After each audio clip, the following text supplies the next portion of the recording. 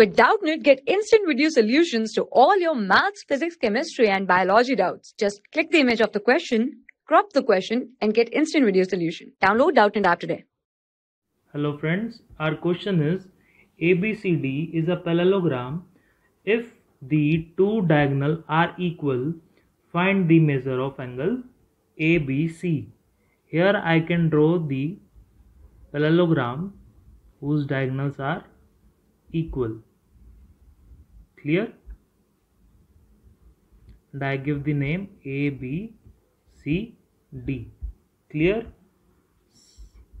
Since ABCD is a parallelogram, that means AB is equals to CD and AD is equals to BC.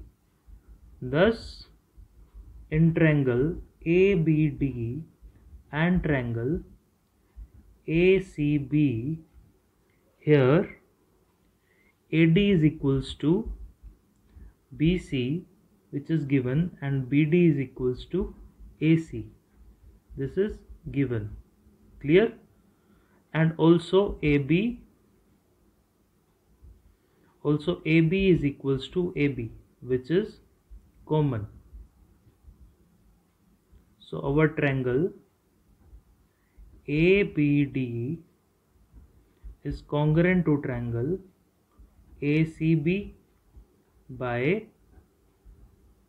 side side side criteria of congruency. Clear? Now, therefore, angle BAD is also equals to angle ABC by CPCT. Clear? Now here I can see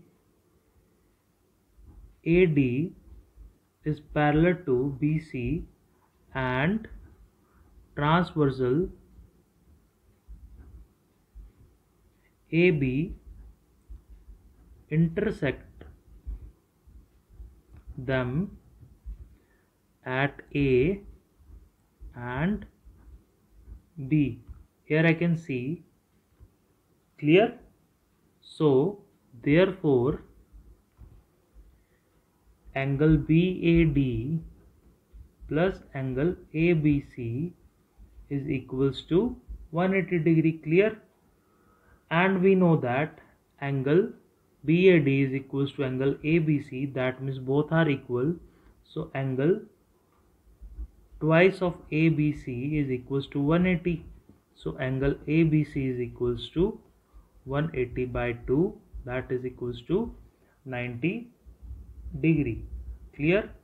Hence the measure of angle ABC is 90 degree. And this is our required answer. For class 6 to 12, IIT JEE and NEET level. Trusted by more than 5 crore students. Download Doubtnut app today.